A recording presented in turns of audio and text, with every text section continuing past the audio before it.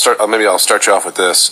It, it certainly seems that the primary case driving Mr. Sadow's argument would be Alvarez. Yeah, guys. So this is the first time in weeks since Fani Willis uh, has been in the courtroom, and uh, basically right now, Donald Trump's team is working on uh, getting this. Uh, essentially, Fani Willis's Georgia election case against Donald Trump completely dismissed. Um, yeah, so this is a big uh, this is a big case taking place right now. In fact, this testimony, this this uh, this litigation taking place right now, uh, could literally get this entire case dismissed. Um, we're hearing from uh, Steve Sadow, Trump's lawyer. I'm sorry. Uh, we're hearing from Steve Sadow, Trump's lawyer, right now, and uh, he's making his case to Judge uh, Scott McAfee right now. But essentially, uh, prosecutors they're accusing Donald Trump's legal team um, of attempting to rewrite the indictment in their efforts to have this Georgia election case dismissed. And ultimately, this case today, um, which literally just wrapped up here just a few minutes ago, um, it, it marks the first hearing since um, a failed attempt to disqualify prosecutor DA Fani Willis. But Steve Sadow, he's he's a fighter. He's just like Donald Trump. He's not going to quit. He's going to get DA Fani Willis disqualified. He's going to get this case dismissed. Um, but Trump's lawyers, Steve Sadow uh, and, and company, they're arguing that his 2020 election comments, um, which challenged the election results, they represent a, a form of a political speech that is fundamentally protected by the First Amendment. You know, and, and so during a, a hearing in uh, a Fulton County courtroom, Trump's attorney, Steve Sadow, emphasized to Judge Scott McAfee that all forms of speech related to campaigning and elections, they're highly protected. And basically is asserting that even if Trump's statements were untrue, they should still be protected uh, because they should be considered as a part of a significant part of public dialogue and therefore should be kind of shielded against DA Fani Willis's argument and uh, legal repercussions. But take a listen. 106, 114, 128, 138, and 139. So the majority of the overt acts involve false statements or tweets which are clearly political speech. How best to deal with that under the circumstances?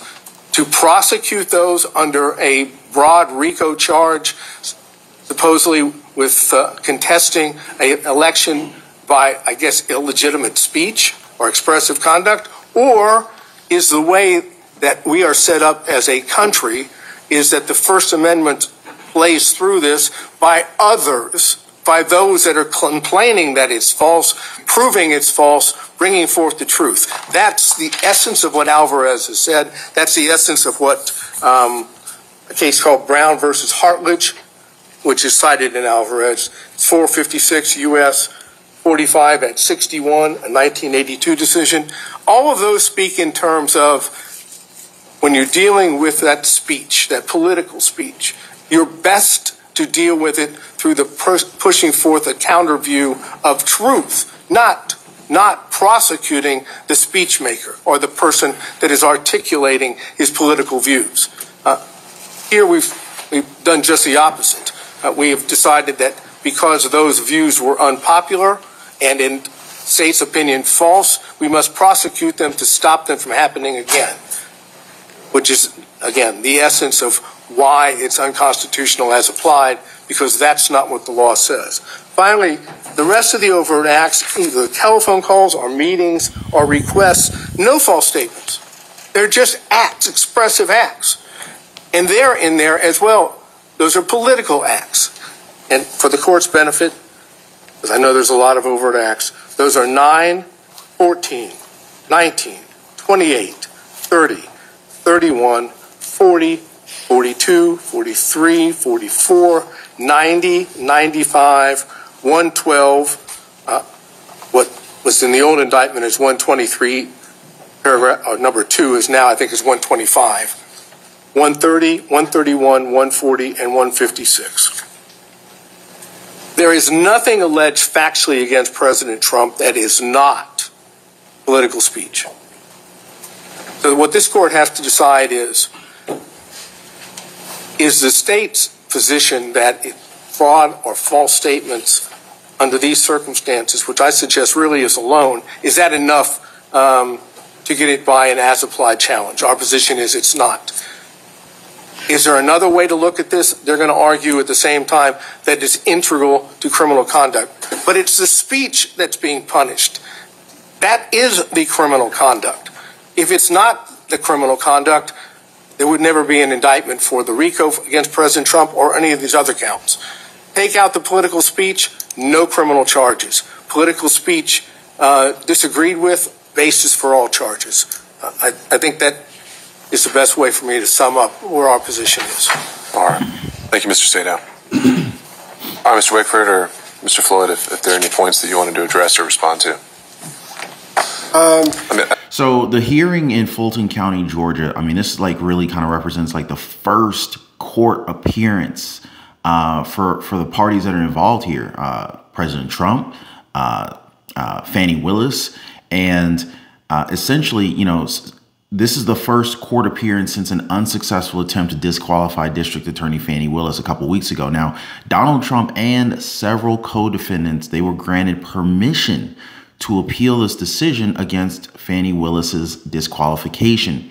Now, Trump, who um, who who actually didn't appear uh, in, in this hearing today, uh, but Fani Willis was there, um, and 18 others. They had previously uh, pleaded not guilty to charges in a comprehensive uh, ra- racketeering uh, indictment, uh, which actually accuses them of trying to overturn this 2020 presidential election result for Georgia.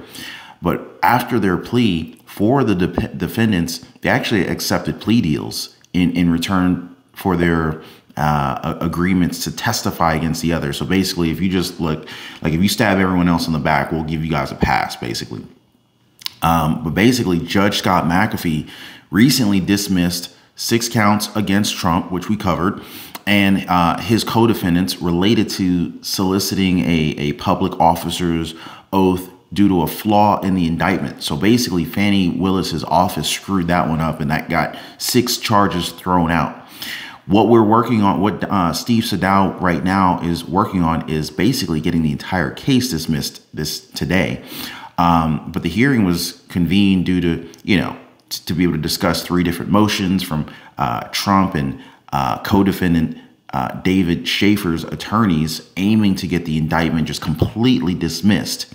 So Donald Trump's legal team is arguing right now that uh, that Donald Trump's arguments or actions surrounding the 2020 elections they are protected actions by the First Amendment, and so basically their whole argument is leaning on the protection of the First Amendment to invalidate the the the indictment that is being presented.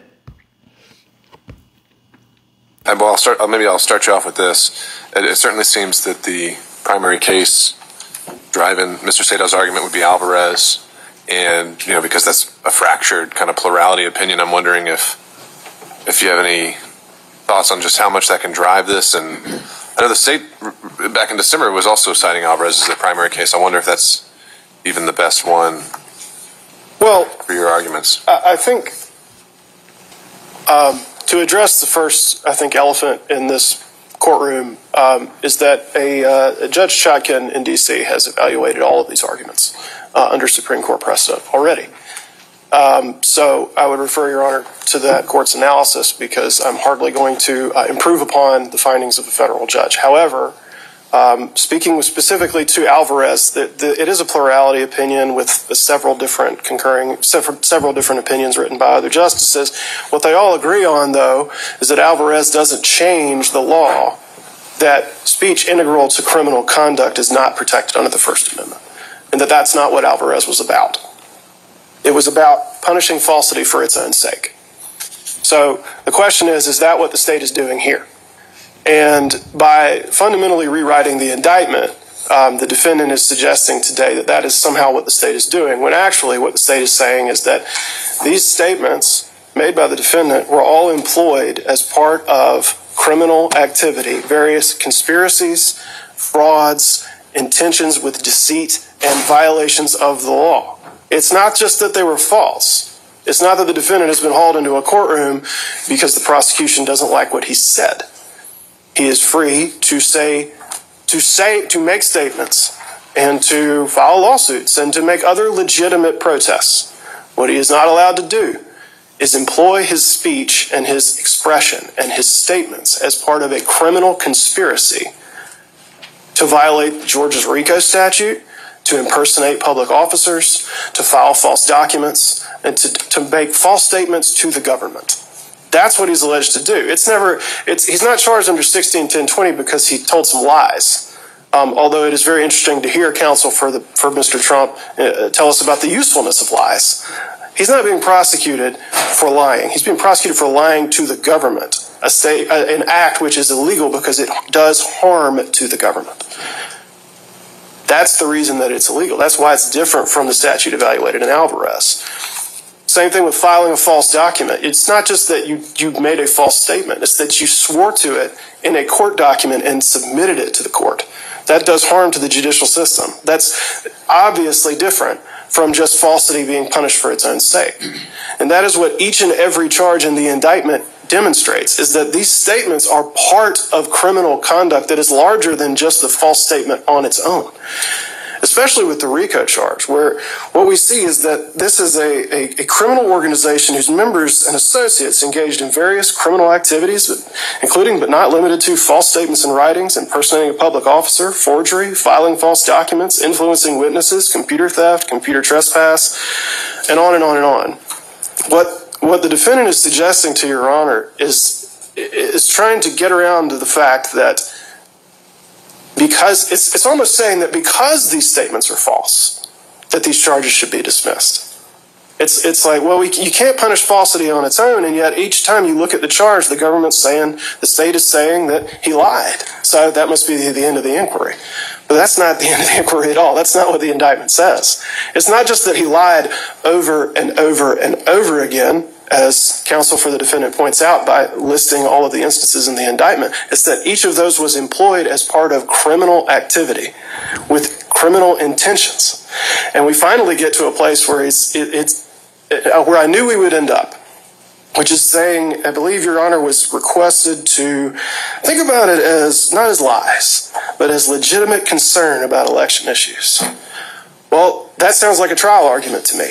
But this is why I began by talking about intent with Your Honor, because I knew we were going to end up in this exact place where he said, sure, you can look at them as lies because they weren't true, or you could think this is just well intentioned concerns from an American citizen speaking his mind. And that, of course, would probably be a pretty good argument to put before a jury, and I expect we will see it, but it's not a basis for dismissing the indictment. The whole question of intent is, is no doubt going to be brought up. It can only be determined by a jury.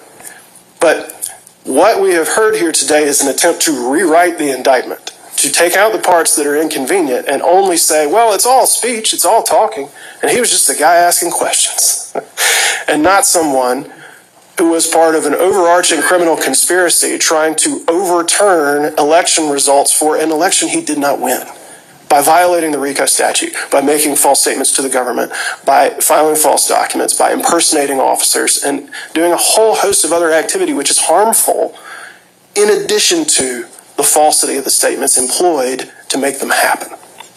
So I think there's been a suggestion that Your Honor can sort of reframe what you're looking at, but Alvarez does nothing to shift the basis that the court should stand upon when evaluating. So essentially, what's happening here is uh, Fani Willis's attorney is uh, attempting to overthrow the argument from Donald Trump's attorney, um, uh, Steve Sadow, uh, and, and basically say that, you know, hey, the grounds for which Steve Sadow's arguments are based on are not valid enough to be able to dismiss this case. So, in a nutshell, that's what he's saying, and he's citing examples here. So, let's go ahead and get back to it and then Trump.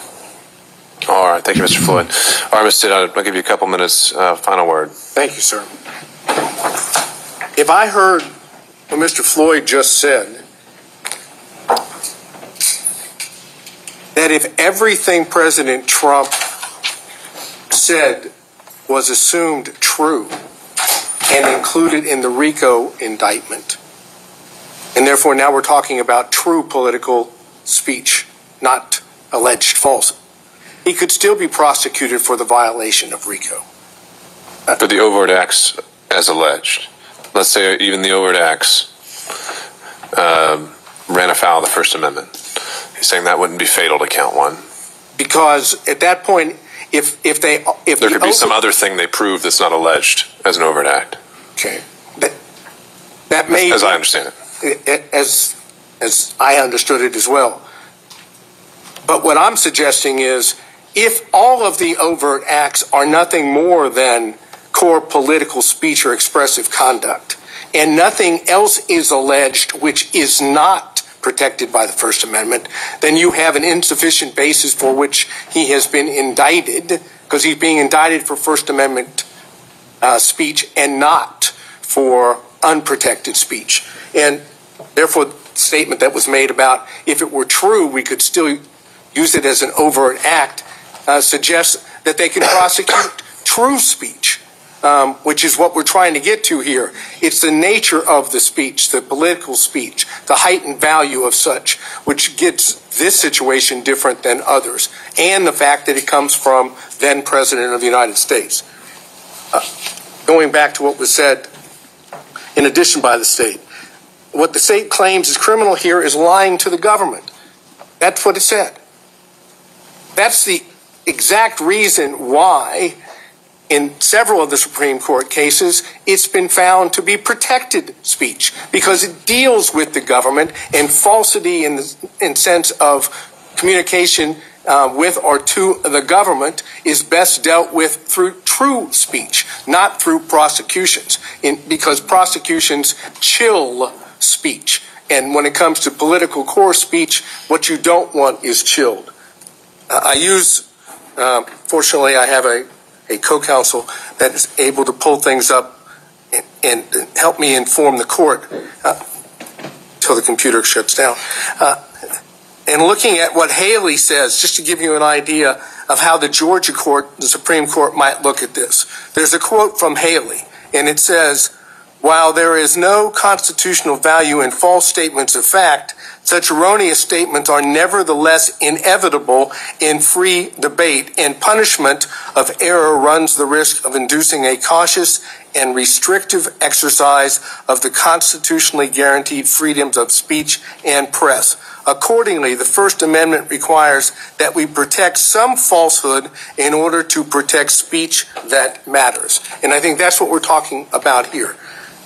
To end this, and again, we're focusing on um, President Trump's conduct at, at the time that he, in fact, is the head of the executive branch.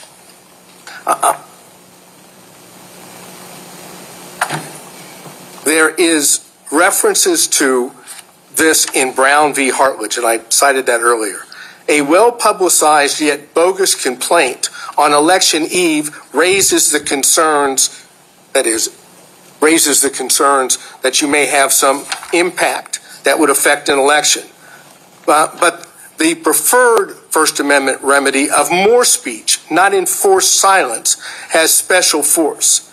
Uh, underlying our dependence upon more speech is the presupposition the right conclusions are more likely to be gathered out of a multitude of tongues than through any kind of authoritative selection. To many, this is and always will be folly, but we have staked upon it all. And for speech concerning public affairs is more than self. Expression, it is the essence of self government, and that comes from Garrison v. Louisiana, which is cited also in Alvarez. Well, guys, so Trump's lawyer, Steve Sadow, has essentially filed an argument stating that President Trump's actions are subject, uh, which are subject to the indictment, they're protected under the First Amendment. And he's citing previous law instances where it has been supported. And essentially, Trump's uh, the the allegations against Trump are falling under under these protections, according to Steve Sadow. So, I mean, it's it, it's a very strong argument that he's presenting, and uh, I don't know. I, I I think that this case ends up getting dismissed if we have a fair judge. Uh, I think Fani Willis will have to end up kind of you know backing down on this one if not being uh, if, if she's not disqualified before then uh, this argument really kind of just kind of like it, it essentially like like posts that the indictment unlawfully is targeting Trump's political speech and his activities, which would be protected as core elements of the First Amendment. So this basically includes every charge, every action mentioned in the indictment, all of which, according to Steve Sadow's filing, are basically they're they're they're central to political speech. And so you know, um, then of course you got uh, attorneys for David Shafer, the former chair of the Republican Party. Uh, they plan to present arguments based on, um, you know, what they think is uh, flaws in the indictments. So there's a dish. There's so many holes in this indictment against Donald Trump. It's ridiculous. In fact, I mean, they're even they even assert that Shafer was merely following legal advice when he organized so-called fake electors, as they call them, in the aftermath of the 2020 uh, presidential election. So Shafer's legal team, they're also looking to have several phrases that they deem to be, um, as they say, conclusive, conclusory legal assertions removed from the indictment. There's not going to be anything left to this indictment. So I, I'm a little, you know, I, I'm not trying to jump the gun here, but I think that this whole thing gets thrown out. Let me know what you guys think. Drop me some comments down below. Uh, I don't think it gets thrown out overnight. There's going to be some back and forth. I'll continue to keep you guys updated like you know I always do. Uh, if you appreciate the updates, hit the like button, subscribe, share this video on Facebook and Twitter. I'll see you guys on the next one.